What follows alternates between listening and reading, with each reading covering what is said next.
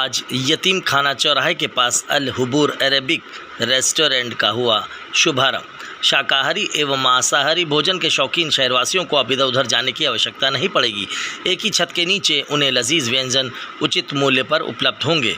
यह जानकारी रेस्टोरेंट के उद्घाटन के अवसर पर ऑनर उबैद उल्ला ने दी। उद्घाटन के अवसर इस अवसर पर इंस्पेक्टर बेगमगंज मोहम्मद मतीन विशेष अतिथि के रूप में उपस्थित हुए। श्री उल्ला ने बताया कि रेस्टोरेंट पूरे तरीके से फैमिली को ध्यान में रखकर बनाया गया है। उनका पहला रेस्टोरेंट परेड साइकिल मार्केट में चल रहा है। उन्होंने बताया कि उनके यहाँ व्यंजन शुद्ध व साफ़ सफ़ाई द्वारा बनाए और अनुभवी शेफ़ के द्वारा परोसा जाएगा। यहाँ आने वाली किसी भी फैमिली को किसी प्रकार की दिक्कत नहीं होगी। साथ ही उन्होंने क्षेत्र की जनता से कहा कि एक बार आकर उनके रेस्टोरेंट में देखिए और एक बार सेवा का अवसर अवश्य प्रदान करें। आइए सुने क्या कुछ बोले। ये रेस्टोरेंट है मेरा इंडो अरेबिक रेस्टोरेंट है। इसमें जो है क्या नाम है चाइनीज़ भी है इंडियन भी नॉर्थ इंडियन भी अल हबूर रेस्टोरेंट के नाम से है।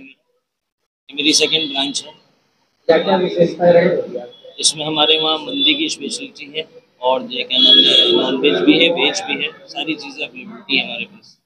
होम डिलीवरी की भी सुविधा है। ऑफलाइन भी है ऑनलाइन भी है स्विगी जोमेटो भी है। जी। अराउंड में जो है वन किलोमीटर में फ्री ऑफ़ कॉस्ट है बाकी एक किलोमीटर से ऊपर में बीस रुपये डिलीवरी चार्जेस है बाकी अदरवाइज़ और भी जो दूसरे माध्यम है जैसे स्विगी है जोमेटो है, उनसे अपनी ऑनलाइन डिलीवरी रेस्टोरेंट के मुख्य उद्देश्य ये है कि हम अपने कस्टमर को अच्छे से अच्छी चीज़ें जो है करें और अच्छे से अच्छी चीज़ें उनको सर्व करें। ये हमारे दूसरी बस हमारी ब्रांच में आए और अगर हमारी सारी चीज़ों का लुफ्त उठाएँ। अगर उसमें कोई से भी, ज़रा से भी कमी हो तो मैं फ़ौरन उसका फीडबैक दें तो उसको और अच्छे से प्रेजेंटेशन